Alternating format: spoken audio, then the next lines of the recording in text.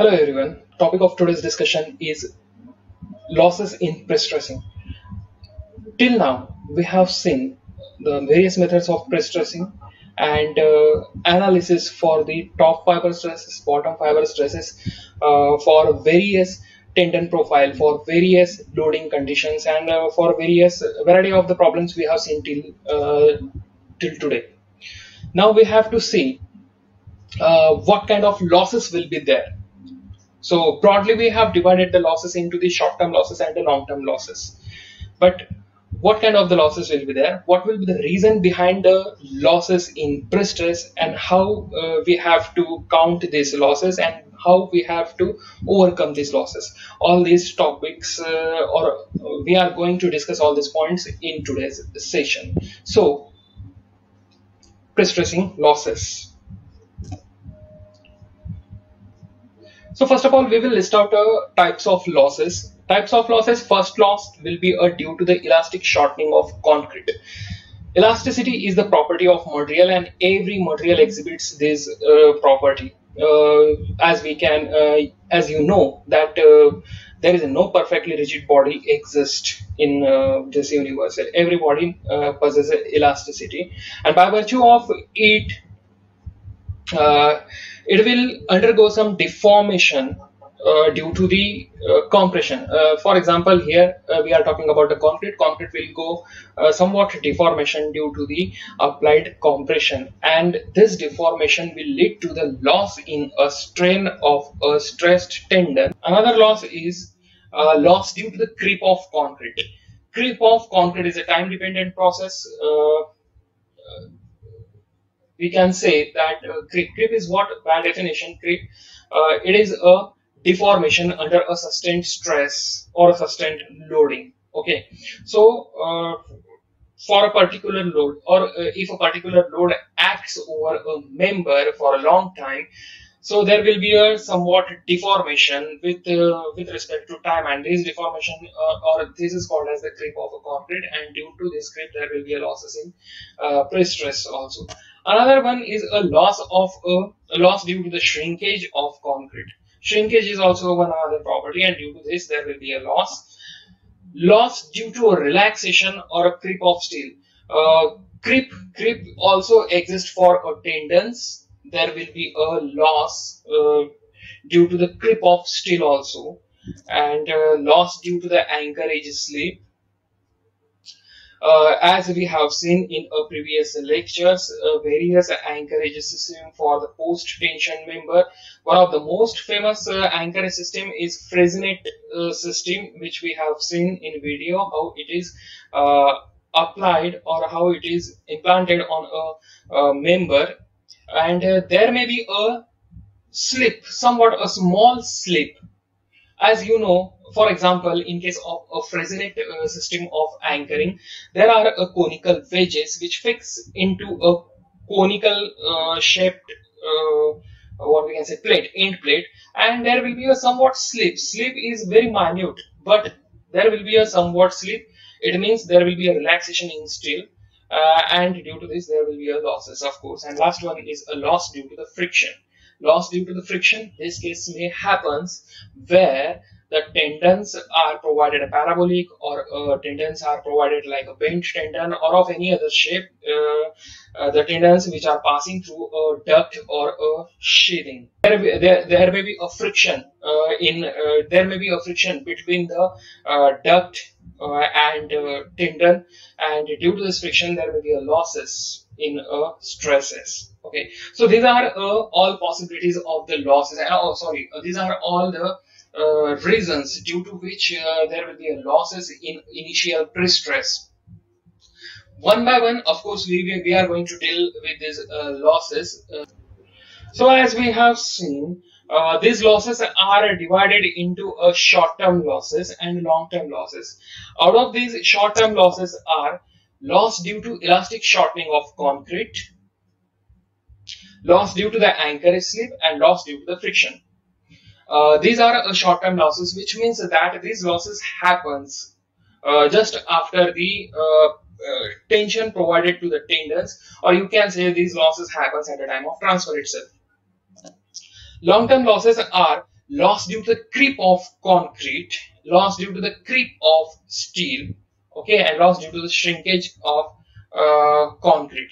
So as these are the uh, losses which are time dependent, it requires some time or it happens uh, with the uh, span of uh, time. So these are uh, termed as long-term losses. Okay, so that there are two types of the or two methods of uh, pre-stressing. First one is pre-tensioning and second one is post-tensioning. So uh, in which type of uh, tensioning, uh, which losses will occur. We will just have a look at it. So in pre-tensioning, elastic deformation of concrete will happen. Okay, in pre-tensioning, in pre-tensioning, what happens? Uh, tensions, uh, tendons are tensioned uh, prior the pouring of a concrete or prior the concrete get hardened.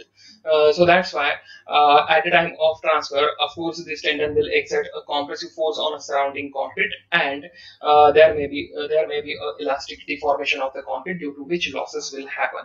But in case of post tensioning, as we are tensioning these tendons after the concrete get hardened, okay so uh, whatever the reading we are getting on the dial gauge in a post tensioning that reading will be after the elastic shortening of concrete had happened. Okay, after it had happened, uh, we will get the uh, uh, that reading. Okay, but there are two cases. So as first, uh, there will be no loss due to the elastic deformation if all wires or all tendons are tensioned simultaneously okay? But if the tendons are tensioned one by one of course there will be a uh, loss in the pre-stress due to the elastic uh, uh, due to the elastic shortening of the concrete. Uh, i will give one demo on it just after a few slides. Today we are going to see by demonstration how there will be a losses uh, due to the uh, if we are going to tension tendons successively. Okay relaxation of a stress in steel that is uh, creep in steel. It may happen in both the case pre-tensioning as well as post-tensioning.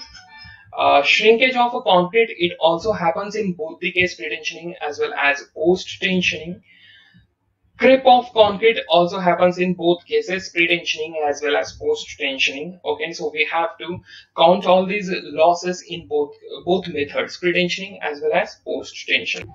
Then friction losses. Friction losses only happens in post-tensioning, not in pre-tensioning, because as uh, the tendons are in in case of a, a pre-tensioned member, tendons are tensioned prior the concrete get hardened or prior the concrete is poured. So there are no chance of um, uh, or there is a no issue of a friction in between a concrete and tendon. But in case of a post tension beam, uh, the cable or uh, tendons are passes uh, are passing through the uh, duct which may be a parabolic or which may be a bent. So of course while tensioning a cable through this duct there. The friction may happen between duct and duct wall and tendon so it uh, will results into the uh, losses initial in initial stresses okay? And of course anchorage slip. This loss uh, is also happen only in case of post tension member. anchorage slip will not happen in case of pre-tensioning okay now, elastic shortening of concrete or a, loss due to the elastic shortening of concrete. Elastic shortening is the property of a concrete uh, which may, uh, due to uh, which the concrete can make it uh, shorten slightly due to this property when a compression is applied from the both end of the member. Okay. So in pre-tensioning, the strands are stressed before the concrete is cast Therefore, after jacking, PO, PO stands for initial pre-stressing force in a tendon, initially applied force in a tendon. PO has been applied at a level Y, okay, of a cross section. The concrete is subjected uh, to the uh, stresses. Which kind of stresses? So, of course, what is this? As you can see here, FC. FC at the level Y. Okay, Y where the uh, tendon or uh, uh, cable is provided. At that level, I need to calculate uh, compressive stresses which will be given by FC and of course it will be a initial pre-stress by cross area of a cross section minus plus minus plus why here I have taken minus plus if the tendon is provided below the neutral axis okay? Uh, the stress due to the pre-stressing force and its eccentricity.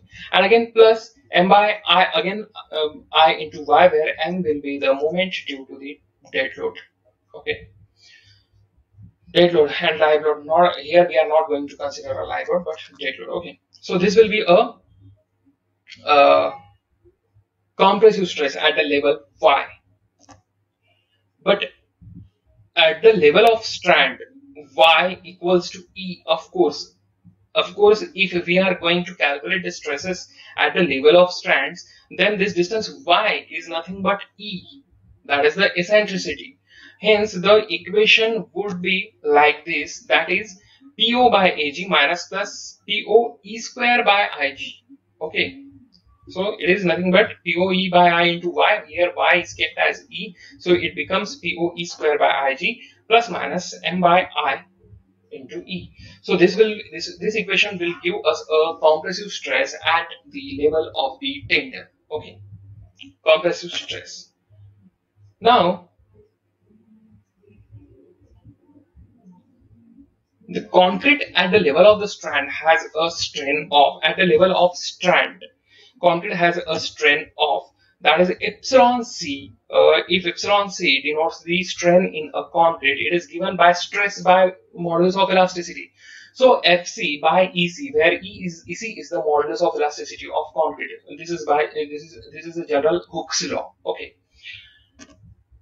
But since this strand and the surrounding concrete is uh, rigidly bonded with each other okay so strain in we can say that a strain in concrete is nothing but strain in steel or a strain in steel must be equal to the strain in concrete because the concrete and the cable passing uh, through it are rigidly bonded with each other. Okay so we can say that the loss of the strain in cable must be equal to the compressive strain in concrete. Okay so just equating the strain in these two material, we get that strain in steel, that is epsilon c, epsilon s, must be equal to epsilon c and must be equal to fc by ec. Okay, so although here we are talking about the strain in steel, we can give this uh, strain in steel by this expression considering the stresses concrete at the level of tendon multiplied by, uh, sorry, divided by modulus of elasticity of concrete. Okay. So this is the equation for the strain as we know that this is the equation for strain. So loss of the stress of cable or loss of the stress in cable must be equal to this loss of strain multiplied by modulus of elasticity of a steel. That is ES as you can see uh, here. That is loss of the strain into ES and loss of the strain as we have seen earlier it is nothing but FC by EC and multiplied by ES. So here I can write, rewrite, rearrange this equation like ES by EC. This is the ratio of modulus of elasticity of a steel to modulus of elasticity of a concrete. Okay, which is nothing but modular ratio m, and I, I am here denoting a modular ratio by a small m. So I got the equation that is the loss of a stress of a cable can ultimately be found by m into fc okay where m is what? Modular ratio. Modular ratio that is the ratio of modulus of elasticity of a steel to modulus of elasticity of a concrete. And what is fc over here? Fc is the compressive stresses in concrete at the level of tendon or at the level of steel. Okay this is fc so in short the losses due to elastic shortening of concrete can be given by this equation that is MFC. Okay. This is applicable when the pre-stressing cables are either concentric or placed at a uniform eccentricity. Okay. Uh, या तो prestressing cable cross section के CG से coincide हो रहा है through out या uh, a pre-stressing uniform eccentricity with respect to the neutral axis. But what if this uh, cable uh, having a varying university along the length of the member or what if the cable is a bent cable means uh, in this case also there will be a varying uh, uh, eccentricity throughout the length of the cable. So what what in such case? Uh, so, so consider this case where the cable is bent cable as you can see this is the bent cable yellow one. Okay. And uh, if I want to just a minute. As you can see uh, this uh, tendon is coinciding with the CG of the cross section at the support section.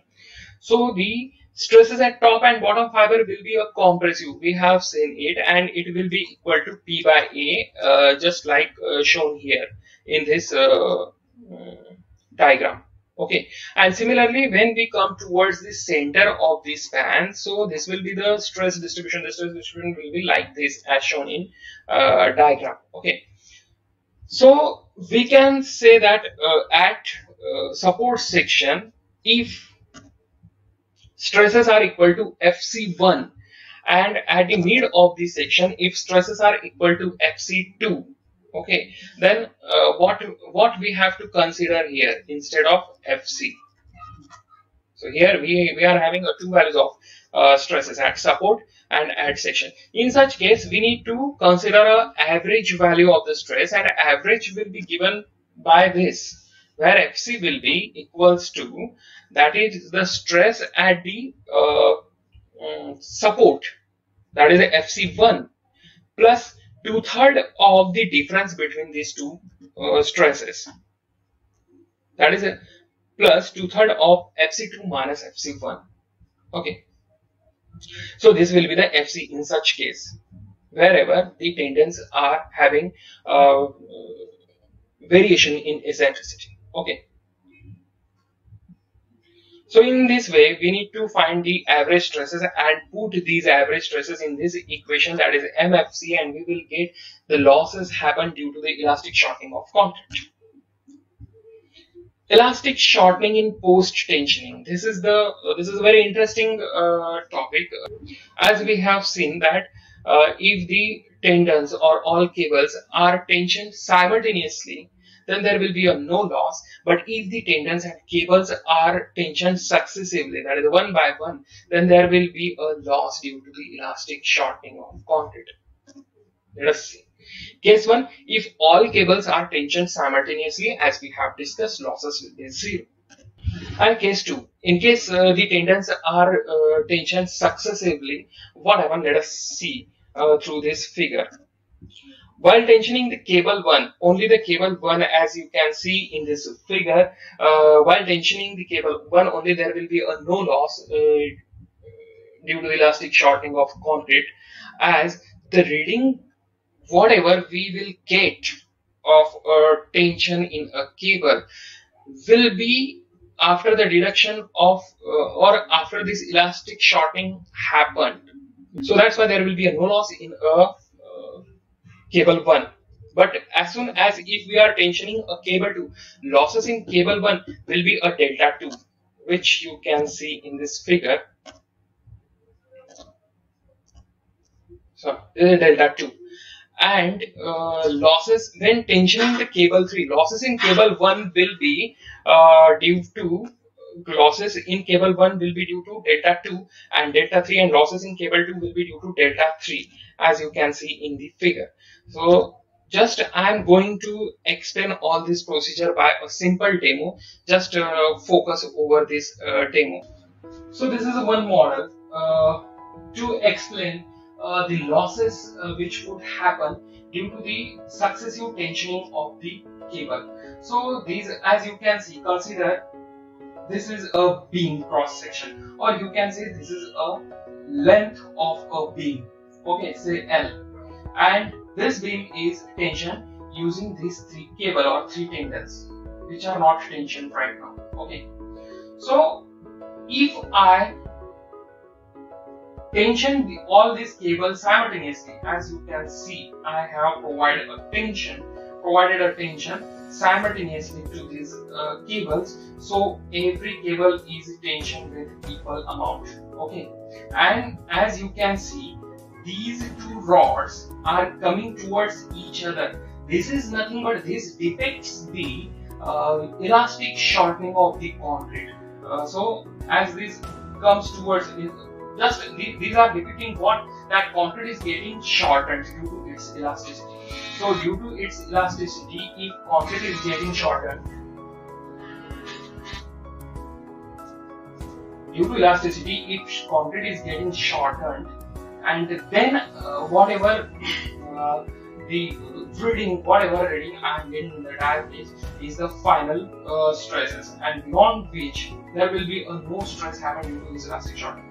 So this will be a final stress in, in which case in, in, in case if uh, we are uh, tensioning all the cables simultaneously. But what happens when we are going to tension these cables one by one? So first of all, I am going to tension the cable 1 like this. See. So I have tensioned the first cable. Okay So, in tensioning first cable, there will be a no loss. No loss in the stress. So, cable is a tension. Now, I am going to tension second cable. So, just look at the first cable. If I am providing a somewhat tension in second cable, so you can see here cable 2 is tension but cable 1 is not that much tension. Okay so there is somewhat somewhat uh, uh, loss of stress happen in cable 1 why? Because successive tensioning of the cable 2 okay and now if i am going to tension a cable 3 beyond which so you can see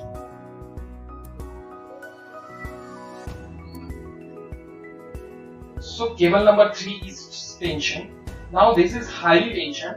Cable 2 is having some somewhat tension but less uh, less as as before it is having. Okay. Now that some means it means that loss in stress happen for cable 2 while tensioning the cable 3 and also a loss in tension happen. As you can see in this case this is tension free cable. Okay. So this thing happens same thing happens uh, while tensioning the tendons one by one or successively in post tensioning. So in this way there will be a, a losses due to the post uh, sorry due, due to the uh, successive tension of the tendon but if uh, all the cables are tensioned successively uh, sorry simultaneously then there would be uh, no losses as you can again see here that all the cables are tensioned equally. Okay. Thank you.